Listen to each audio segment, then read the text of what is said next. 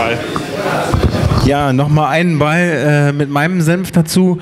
Ähm, ja, genau, ich hab, ähm, fand es auch wieder sehr inspirierend, was Tim gesagt hat, ähm, weil, genau, es geht ja letztendlich gar nicht so viel um, ich rede zu laut, ne? Äh, es geht gar nicht so viel um, ich korrigiere auch schon. ähm, äh, es geht ja gar nicht darauf, genau, es geht, man, man zieht immer so viel Energie oder viele, ich, ja, ich ziehe, zog äh, relativ viel Energie immer aus Wissen und tue es, glaube ich, immer noch. Und ähm, und der Punkt ist ja immer, das, das Tun und, und, die, und, das, und das Umsetzen äh, ist ja irdisch. Also das ist ja nicht irgendwie da oben in, dem, in der Welt des Wissens da oder in der, in, der, in der Welt der Spiritualität da oben irgendwo rumzuschwirren andauernd, sondern wenn man sich das wie einen Baum vorstellt oder so, dann, dann kann, kann die, können die höchste Krone kann nicht leben ohne die tiefen Wurzeln und umgekehrt. Also genau, so ein, so ein ähm, zwischen Herz und Verstand gibt es halt auch noch so, ein, äh, so eine Balance zwischen äh, tun, etwas umsetzen und äh, mal dieses äh, ständige nur Wissen, was geht, mal auch mal abzukatten und was zu tun. Danke.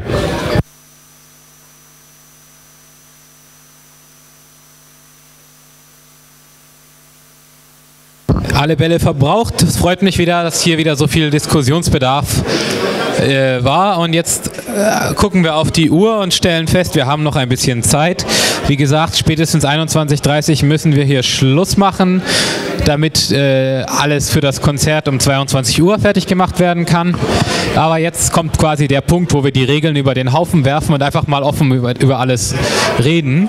Äh, ich habe hier noch ein zweites Mikrofon und ich gebe jetzt wieder mal die Möglichkeit, das Ding rumzugeben und einfach alles zu fragen, was euch interessiert und ich antworte euch in meinem Senf oder ihr könnt euch so. andere Leute ansprechen. Ihr könnt auch was sagen. Ja, es auch ich. Ist jetzt quasi komplett offen. Ihr dürft sagen oder fragen oder diskutieren. Carlos, Mensch, auch ich möchte nahtlos bei dem, was Tim gesagt hat, anknüpfen. Und ich habe noch einen schönen Satz für euch, der mich unheimlich geprägt hat.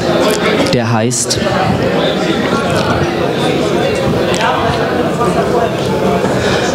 Wer nicht liebt, hat Gott noch nicht kennengelernt, weil Gott Liebe ist. Dankeschön.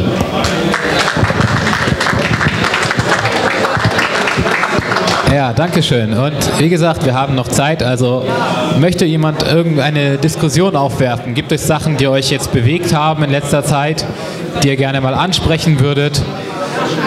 Ihr habt einfach jetzt die Möglichkeit, über alles zu reden. Jetzt ist quasi komplett offen. Hallo, Entschuldigung, mach's ein bisschen leiser. Ähm, also, ähm, ich habe etwas recherchiert, was mich ziemlich geschockt hat. Und ähm, ich hatte einen Vortrag gehört und da kam der Begriff Death Pathway, also der Todespfad vor, der in ähm, UK, also in England, praktiziert wird. Und äh, Liverpool Death Pathway bedeutet, dass man eben Menschen, die sehr, sehr alt sind, sehr, sehr krank sind, in Sterbehospizen die Möglichkeit gibt, ähm, ihr Leben dann auch zu beenden. Also es ging um das Thema Sterbehilfe, das ja auch in Deutschland sehr aktuell ist. Und da las ich dann aber auch einen Bericht, dass es auch bei Kindern und Jugendlichen gemacht wird und mit dem Argument, die Pflegekosten seien zu teuer, die Krankenhäuser seien überbelegt, ähm, die Medikamente sind zu teuer und so weiter. Und dieses Konzept ist mittlerweile aber in UK ähm, angekommen und wird auch angewendet. Und ich habe dann die Geschichte dieses 14-jährigen Jungen ähm, gehört, Strich gelesen. Dieser Junge hatte Leukämie, ähm, Blutkrebs, war mit Chemotherapie austherapiert. Man kann es meist nur zwei, dreimal machen. Und dann, Chemotherapie ist ja eigentlich eine Vergiftung des eigenen Körpers. Und eine Option wäre nur noch gewesen, Cannabisöl zu geben. Und das wurde dann aber nicht gemacht bei dem Jungen, weil es seien ja Drogen und er ist ja nicht volljährig. Stattdessen hat man den ähm, Death Pathway gewählt und der sah so aus, dass man diesem Jungen eben, und das ist der Death Pathway, man entzieht den Patienten ähm, äh, also prozentual Wasser, Nahrung und Medikamente und stellt sie dann demgemäß ruhig und dann dimmern die dann drei, vier Tage hin, bis sie dann sterben. Das wird bei Babys angewandt, bei Kindern, bei Jugendlichen. Und als dieser 14-jährige Junge nach drei Tagen dehydriert starb, durch Dehydration, also durch Verdursten, in einem englischen Krankenhaus, die Zunge klebte am Gaumen förmlich. Mir wurde richtig schlecht. Und ich habe dann gehört, dass es in den USA hat Obama ähm, das Death Panel, also auch wir Todespanel unterschrieben. Und ich bin immer mit Verschwörungstheorien sehr vorsichtig, aber mein erster Gedanke war, ich musste an die Georgia Guidestones denken, an die Entvölkerung und ich musste an Euthanasie denken. Und ich musste an meine Tante Ella denken, die im KZ war. Wenn die das hören würde, was, was würde die sagen? Und kann, kann wirklich ein Arzt ähm, entscheiden, wann ein Patient das durchleiden muss und wann nicht? Und wer darf das überhaupt entscheiden? Darf man das? Ist, das? Das kann doch nicht sein. Und das fand ich sehr, sehr, sehr ja, schockierend. Ja, eine Lösung. Was ist die Lösung? Dass wir hingehen, dass das abgeschafft wird und äh, die Diskussion, die Diskussion in England läuft und auch in den USA. Aber die Lösung ist, dass die Behörden da einfach auf, ja, wie immer, man bekommt keine Antworten. Es, es, es, laufen Petitionen, es, es, es laufen, ja, Leute werden angeschrieben. Ne? Ich antworte mal darauf, was ich denke. Also ich denke, wenn wir erstmal, das zieht einen natürlich ziemlich runter, wenn man das hört. Und das ist auch schrecklich. Und es ist aber ist auch ein Symptom unserer Gesellschaft, dass äh, es heißt, ja, jetzt ist es irgendwie nicht mehr möglich, den zu behandeln. Also äh, entlassen wir ihn einfach und geben ihn auf, als wäre das so ein Stück äh, Ware oder so ein Haus, wo man merkt, jetzt kann man nicht mehr fertigstellen, jetzt lassen wir es einfach. Und das, äh, obwohl eben auch solche alternativen Therapien mit Cannabisöl oder sonst was möglich wären, da müsste man doch einfach mal sagen, wie beschränkt sind wir eigentlich in unserer Gesellschaft, dass wenn wir denken, mit unseren eigenen Möglichkeiten können wir, äh, mit, also mit dem, was wir denken, was wir wissen, können wir diese Person nicht mehr behandeln, also geben wir sie einfach auf. Weil anstatt, dass wir sagen, hey, das ist ein Junge, das ist ein junges Leben, bevor wir den einfach sterben lassen, hinterfragen wir vielleicht mal das, was wir für richtig halten und äh, fragen einfach mal, was, würden, was würde die Natur tun? Was würde die Natur mit diesem Menschen tun? Oder äh, eben, das ist halt symptomatisch für unsere Gesellschaft, dass der Mensch immer mehr als Ware behandelt wird, dass alles äh, in Politik und im Leben nur noch ums Geschäft geht und der war, war er zu teuer oder nicht? Also man hat ein bisschen Geld rausgeholt, weil der, wer auch immer die Chemotherapie dreimal bei ihm angewendet hat, der hat ja dran verdient. Und dann ist die Frage, äh, ich meine, das ist doch Krebs, oder? Krebs ist ein Geld. Äh, die Krebsdiagnose heißt für die Gesundheitskonzerne einfach richtig Geld. Und dann merkt man, irgendwann Irgendwann ist es nicht mehr wirtschaftlich, den zu behandeln, dann lässt man ihn halt sterben. Und dann holt man sich den nächsten, nächsten Patienten ran. Und da fragen wir uns, wie krank sind wir eigentlich, dass wir so mit unseren Menschen umgehen? Und ja. Und wenn wir über Lösungen sprechen, ich meine, ich habe jetzt viel angeprangert und jetzt die Lösung ist für mich die gleiche wie für die anderen Probleme, die wir hier haben. Das ist ein gesamtgesellschaftliches Umdenken. Das ist nicht von jetzt auf gleich getan, sondern es wird ja immer mehr privatisiert und vergeschäftlicht und alles nur noch als Ware angesehen. Und es wird auch radikalisiert und in extreme Ecken verschoben. Und es ist nicht damit getan, dass man irgendeine Petition startet oder dass man sich hinstellt und jetzt fordert, dass man diese Death Pathways abschafft, weil die werden einfach dann durch einen anderen Namen ersetzt. Das wird ja überall genauso praktiziert, ob das jetzt Death Pathway heißt oder wie das in Deutschland heißt. Das ist vollkommen egal, solange wir in, diesem, in dieser äh, kaputten Gesellschaft leben, behandeln die das alle irgendwo ähnlich auf die gleiche korrupte Art und Weise. Ich weiß nicht, ob es das in Deutschland gibt oder ob das, aber es wird doch, aber ist es wirklich relevant, ob das jetzt genauso heißt oder ob das irgendwie über drei Ecken anders gemacht wird? Hier werden doch die Leute genauso sterben gelassen, wenn es nicht mehr wirtschaftlich ist, sie zu behandeln. Das ist doch das ist alles ein Symptom eines kranken Systems, das sich selbst, das immer nur dazu dient, irgendwelche komischen wirtschaftlichen Sachen zu bereichern. Aber ich komme, worauf ich hinaus will, ist, dass wir das nur ändern können, indem wir eine Diskussion in die Öffentlichkeit treiben, nicht nur da, sondern an alle Aspekte überall anecken. Wie Matthias sagte das, der Splitter im Gehirn sein, der Fehler in der Matrix, immer wieder sagen, ist das richtig, wollen wir das? Und das muss man, oder sollte man, weil müssen muss man gar nichts, sondern seiner Meinung nach sollte man das einfach immer wieder ansprechen und eben auf solchen Plattformen. Dafür habe ich die Mahnwache ins Leben gerufen, dass man unangenehme Themen anspricht und sagt, hey, da läuft was falsch. Und nicht nur an der einen Ecke, an der anderen. Und nur wenn wir, wenn die komplette Gesellschaft langsam aber sicher umdenkt, nur dann können wir uns aus diesem ganzen Morast und Sumpf befreien. Weil ist es jetzt wirklich wichtig, ob die Kinder in unseren Krankenhäusern sterben oder ob wir die Kinder in Gaza umbringen? Es kann doch nicht sein, dass die Kinder einfach umgebracht werden, egal wo. So. Das war, was ich dazu sagen wollte. Gut. Äh, ich habe mich schon ein bisschen in Rat geredet. Wer möchte noch etwas sagen? Gerne, immer. Kommt nach vorne. Ich habe hier so ein Mikro und ich habe ja auch noch ein zweites, das kann ich auch rumgeben.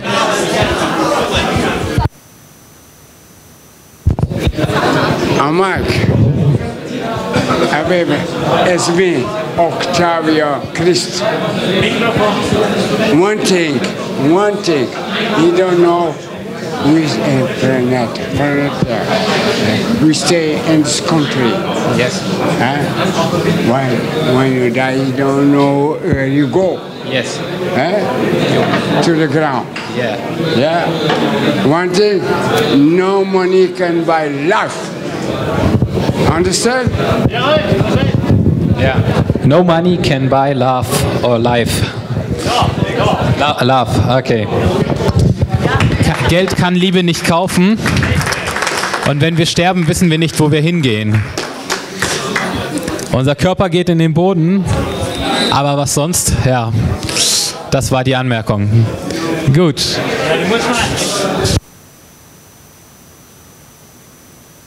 Meine Frage ist, warum, also er geht jetzt wieder zum Boden zurück, zur Mutter Erde, aber warum kam er denn überhaupt hervor? Warum kam da, das, was du keinen Körper nennst, warum, war, war, aus welchen Gründen kommt der hervor und jetzt steht er gerade hinter dem Mikrofon und klärt gerade das Äußere? War, ja, und diese Antwort, glaube ich, bringt uns zu dieser Erkenntnis vielleicht, tja, da bin ich mal gespannt. Ja, dann traue ich mich mal äh, zu später Stunde. Der Inkarnationsdruck ist der Grund, warum du da bist. Immer wieder und wieder. Inkarnation über Inkarnation versucht dein höheres Selbst sich zu befreien. Deswegen bist du da. Und was befreien? Äh, befreien von deinen niederen Kräften hoch, um göttlich zu werden, um Gott gleich zu werden. Ein langer, langer Weg. Ähm, Gott gleich zu werden oder eins zu werden? das habe ich. Um Gott gleich zu werden, hast du gesagt. Das ist dasselbe. Eins und gleich, das ist gleich. Nein, nein, das ist nicht klar. So, ich wollte aber noch mal auf die sterbenden Kinder noch mal eingehen. Ähm, ein Herr sagte vorhin, wir brauchen Lösungen. Ich sitze hier noch mit dem Gefühl David gegen Goliath. Solange wir hier noch frei reden können, sind wir ungefährlich. Bedenklich wird es, wenn das Internet abgeschaltet wird und wir hier nicht mehr sitzen können. Aber dann sind wir wahrscheinlich auf dem richtigen Weg. Ähm, Wie, was? Das Internet ist eine super Falle, da lassen Sie uns. Das, das lassen Sie uns? Naja, wir werden sehen. Also ich, ich wäre ohne das Internet nicht hier. ähm, es ist wirklich so zynisch, dass da einige wenige ganz viel Geld dran verdienen und Menschenleben egal sind dass unser Staat Menschen umbringt, ob es nun die Richterin in Neukölln war oder äh, wer auch immer. Ähm, ich weiß nicht, ich denke, sich zusammentun und drüber reden ist gut. Es wird die Kräfte bündeln, es wird sie befreien, das Bewusstsein wird weiter. Aber wie man andere überzeugen soll, sich überhaupt dem zu stellen, weiß ich nicht, weil da gehört schon Mut zu. Alleine hier zu sein, finde ich, sind wir alle mutig. Die, das ist jetzt schon so. Wir leben in einer Diktatur. Und äh, ich würde mich nicht wundern, wenn unsere Namen alle schon auf irgendwelchen komischen Listen stehen und äh, man leise reden sollte zu Hause. Ja, äh, das Kindersterben, dass aber auch alte Menschen sterben, finde ich genauso schlimm. Es ist ein Zynismus, es geht nur um Geld und zwar um, nicht um unseres.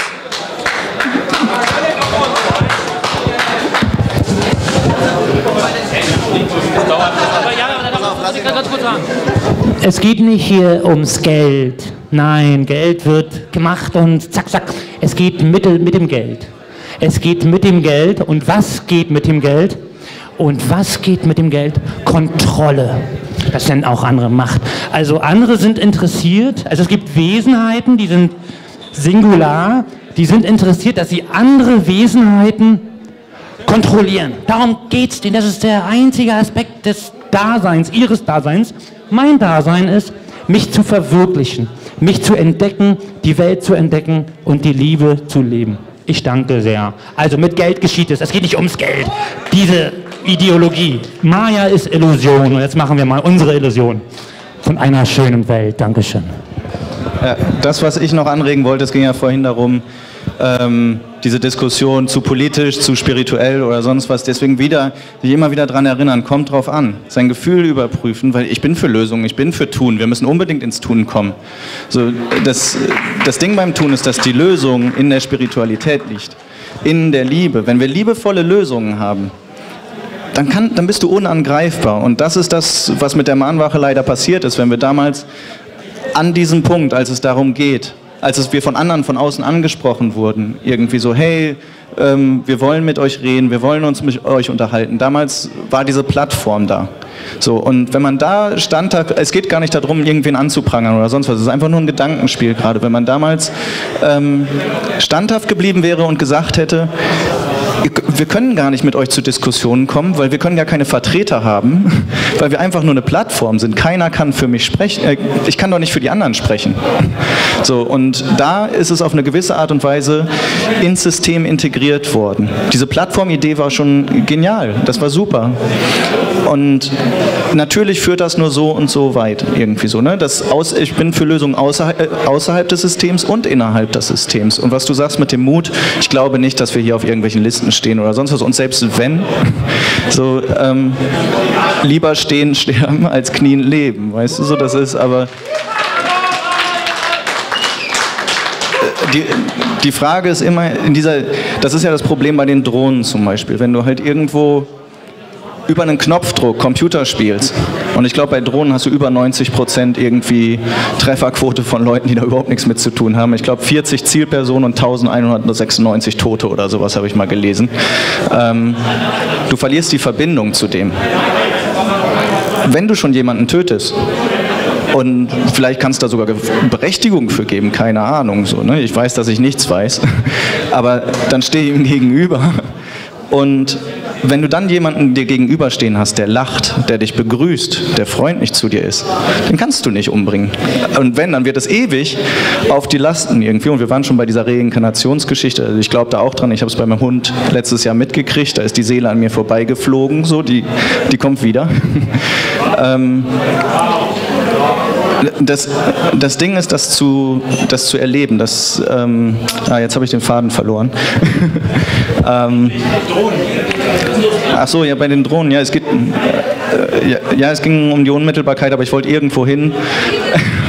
ja auch, Ja, das mit der Liebe und Spiritualität hatten wir ja jetzt auch schon. Es geht darum, dass jeder für sich seine, seine Lösung findet. Also wir können auch gerne irgendwie damit in eine Diskussion einsteigen, so wohin führt das Ganze jetzt? Wo setzt man an? Und ich bin auch der Meinung, deswegen, ich habe damals, bin ich auf den Rathausmarkt gekommen und habe dich da stehen sehen und habe gesagt, der Grund, warum ich bei Henrik auf die Straße gegangen bin, war deine Persönlichkeit tatsächlich. Ich dachte so, also das ist bestimmt keine Organisation. Die hatten zwei Reden vorbereitet, eine Robin, eine Henrik und dann war so Mikrofon in die Hand. Ähm, ja, mehr haben wir nicht, jetzt seid ihr dran. Und das war ein schöner Start und das halt eben weiterzuentwickeln. Und ich sehe es gerne in der Organisation, also Anarchie zum Beispiel heißt ja auch nicht die Abwesenheit von Ordnung, es das heißt die Abwesenheit von Herrschaft. So, und die Frage ist, wie organisiert man das Ganze? Und da sehe ich es gerne wie so eine Art ähm, Sportverein einfach, so dass man, ich habe dir das vorhin erzählt irgendwie, so dass ähm, wenn du jetzt einen Sportverein hast mit sagen wir 100 verschiedenen Sportarten oder sonst was, dann gibt es zum Beispiel den Handballprofi. So, und dann hast du eine Profimannschaft, du hast eine zweite Mannschaft, du hast eine Jugendabteilung, wo die Leute ausgebildet werden. Im Idealfall sind die Leute aus der Profimannschaft auch Trainer der Jugendlichen. So, wenn du jetzt ein Handballprofi bist, kannst du ja nicht sofort in das Profiteam der Fußballer rein. Nur weil du Profi in der einen Abteilung bist. Es geht schon darum, irgendwo eine Form von Anführern zu haben, von Leuten, die autorisiert sind von den anderen. Hey, du kannst das besonders gut für uns da in dieser. So, und das, das war letztens etwas ja, mitzumachen, auch die anderen Sportarten lernen zu wollen. Zu sagen, so, okay, jetzt bin ich so gut im Handball. So, vielleicht werde ich im Handball besser. Guck dir den Slatan Ibrahimovic an, einer der besten Fußballer der Welt. Der hat Karate gelernt. Deswegen ist er so gut, weil er sich so bewegen kann, durch, indem er Karate gelernt hat. Und halt eben sich vielseitig auszubilden, es immer weiter zu erweitern, es rotieren zu lassen. Ähm, bitte? Was ich euch sagen will, ist, ähm, dass das für mich die Form von Anführerschaft ist, die ich für mich akzeptieren kann. Ich möchte gerne Lehrer haben. Henrik hat etwas in seiner Persönlichkeit, das ich so nicht kann. Das gucke ich mir gern von ihm ab. So, und diese Bereitschaft und nicht zu gucken, ich bin die Lösung und ich weiß alles und folgt mir, dann, das ist schon wieder der Anfang vom Ende. So, es geht darum, ganz neu anzufangen, zu gucken, was haben wir jetzt, nicht so viel in die Vergangenheit zurück und zu gucken, wie bauen wir das neu auf. So, und sich dann halt eben nicht angreifbar zu machen auf eine gewisse Art und Weise. Und Du meinst, das System funktioniert nach dem schwächsten Glied in der Kette? Ja, dann ist die Frage, wohin baust du das schwächste Glied der Kette? Wenn du in eine gewisse Richtung gehst und du hast zum Beispiel jemanden, der kann eine Kutsche gut fahren, dann setzt das schwächste Glied doch auf die Kutsche. Vielleicht nimmst du das Mikrofon, dann haben wir eine Diskussion. Ja, meine Frage wäre, wenn man das schwächste Glied in der Kette in die anarchistischen Pläne mit einbaut. Ähm, wer entscheidet dann, wo dieses schwächste Glied steht und äh, weist es in die Schranken? Also ich gehe jetzt von Persönlichkeiten aus, die gerne sich prügeln oder gerne kriminell sind und die gibt es ja nun mal. Und ich möchte gern, dass die auch ihren Platz haben, aber das Ganze nicht gefährden. Es braucht natürlich Zeit. So, ne? Das Ding ist erstmal, eine Stimmung aufzubauen, in der du dich willkommen fühlst. Ja?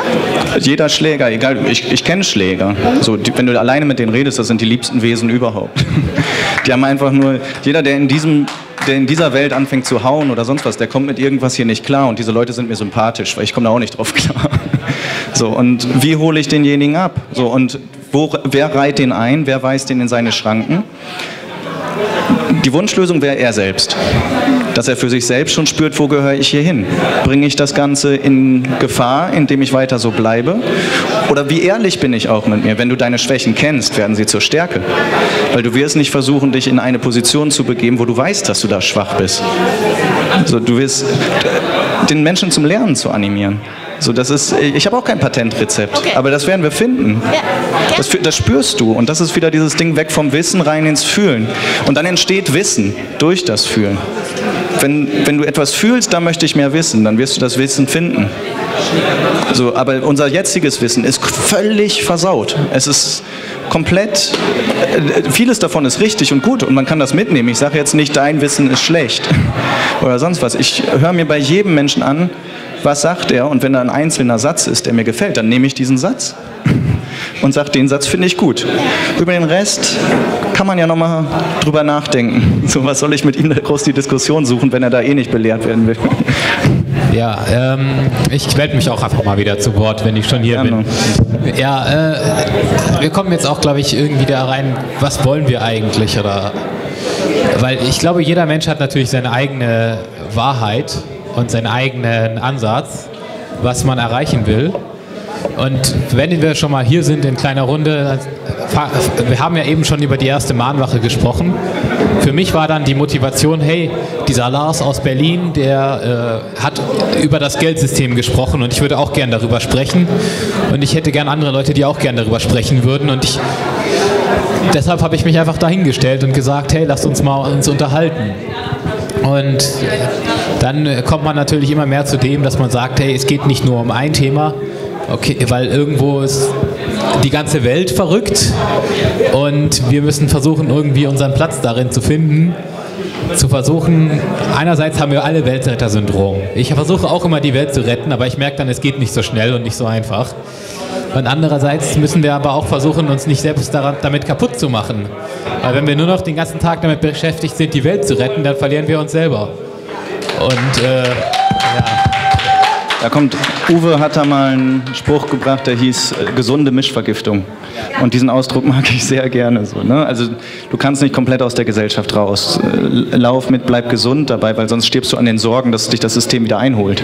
Ja, genau. Und wenn ich über mich persönlich sprechen will, ich fand eigentlich so eine gewisse Art von System sogar gut, weil äh, es ist doch eigentlich eine gute Idee, mit anderen Menschen zusammenzuarbeiten, sich Arbeit zu teilen und äh, sich so zu organisieren, dass man zusammen mehr erreicht.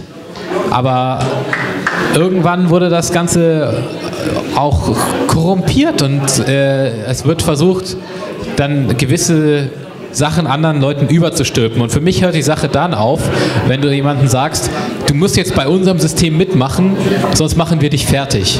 Und irgendwie sind wir an dem Punkt ja angekommen, weil alle müssen äh, die, zum Beispiel GEZ bezahlen und alle müssen bei diesem, alle müssen sich äh, einen Personalausweis äh, besorgen und alle müssen hier mittanzen in, dem, in der Reihe. Und Genau, du kannst nicht mehr einfach sagen, ich, lasst mich alle in Ruhe, ich ziehe jetzt in mein eigenes, ich mache jetzt mit ein paar Freunden ein eigenes Dorf auf und dann äh, benutze ich euer Geld nicht, die kommen trotzdem und wollen bei dir was eintreiben.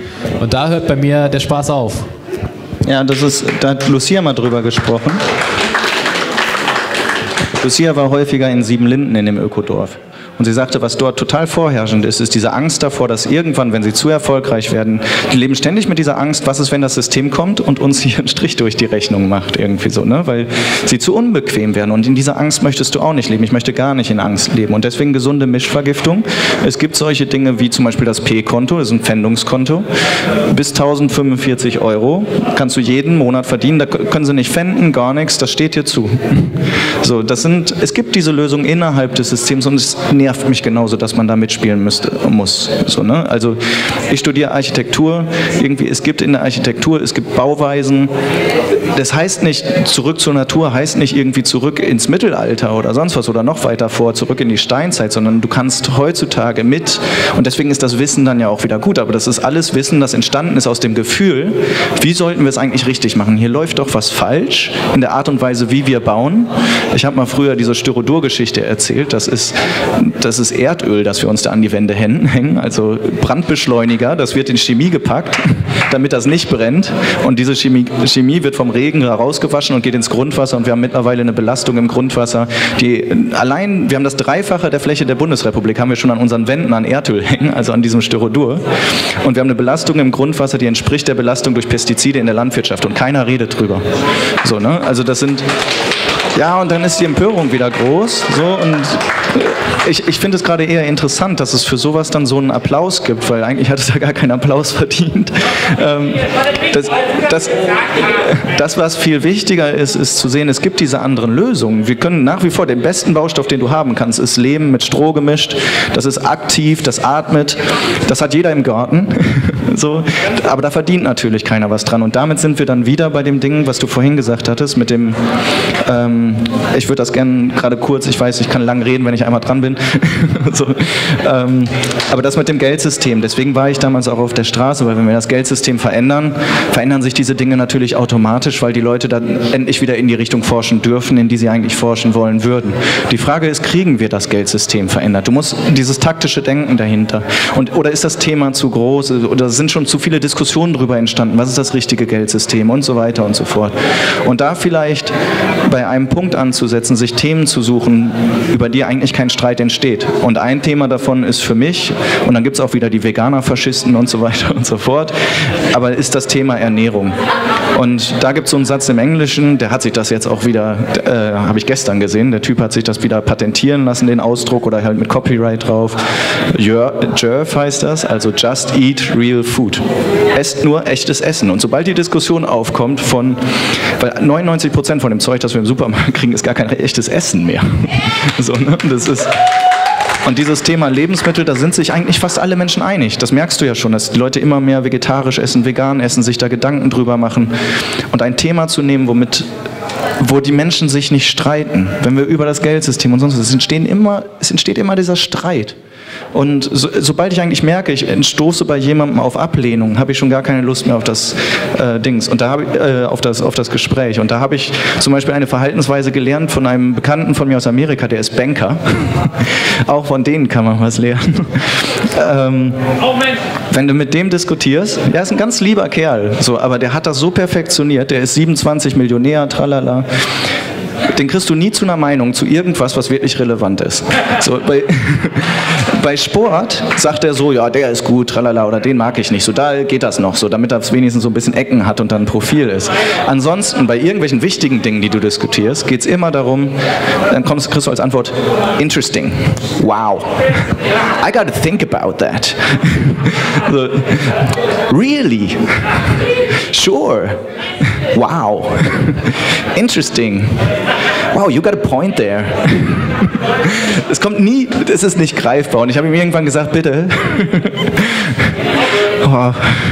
So, lass uns auf die Themen dann beschränken. So. Und das haben wir geschafft. So. Dadurch bleibt man bei den Themen, wo man gemeinsam darüber diskutieren kann, wo man eine Meinung zu hat. Und die Freundschaft ist daran nicht zerbrochen. Und das ist ganz wichtig, weil was, äh, was halt eben, wenn man hier lange Zeit mal irgendwie Warnmache mitgemacht hat oder sowas, dann es zerbrechen sehr viele Freundschaften, sehr viele Kontakte, weil die Leute plötzlich Angst vor dir haben. So, der denkt doch so komisch, der ist doch offen für Verschwörungstheorien und sowas. Und das ist eine ganz große Aufgabe, auch diese Freundschaften nicht zerbrechen zu lassen. Also,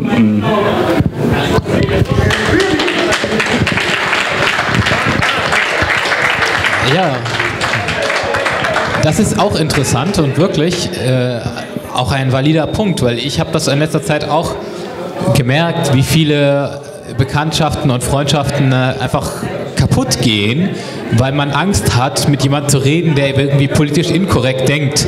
Aber äh, gleichzeitig habe ich das auch erlebt, also bei mir gerade über Facebook, weil äh, ich habe dann viele alte Freunde auf Facebook aus den Tagen, wo ich noch selber unpolitisch war und lieber gar nicht drüber nachgedacht habe.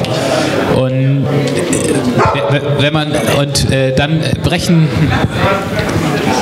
ja, ich glaube, du musst dich ein bisschen um deinen Hund kümmern, das ist auch gut. Äh, ja, dann, dann brechen äh, unter irgendwelchen Facebook-Posts brechen plötzlich die riesigen Diskussionen los unter zwei Leuten, die ich mal kannte. Die haben sich dann über Pegida gezofft und wie? Die wollten sich am liebsten in die Gurgel gehen. Nächste, die waren mal super Freunde. Was ist jetzt passiert? Ne? Ähm, aber es gibt auch andere Effekte. Ich habe dann plötzlich äh, von Leuten, mit denen ich ewig nicht geredet habe, als ich sie dann doch mal wieder gesehen habe, haben sie mir live ins Gesicht gesagt, ey, ich finde das gut, was du da immer postest und was du da machst bei Facebook, aber ich like das nicht, weil ich habe Angst, dass dann irgendwie äh, jemand denkt, ich könnte politisch inkorrekt denken, weil ich was geliked habe, was du da gepostet hast, was eventuell politisch inkorrekt ist. Und so weit sind wir schon gekommen, Leute. Was ist denn mit uns los eigentlich? Wir können nicht mehr reden, wir, wir können uns nicht mehr unterhalten.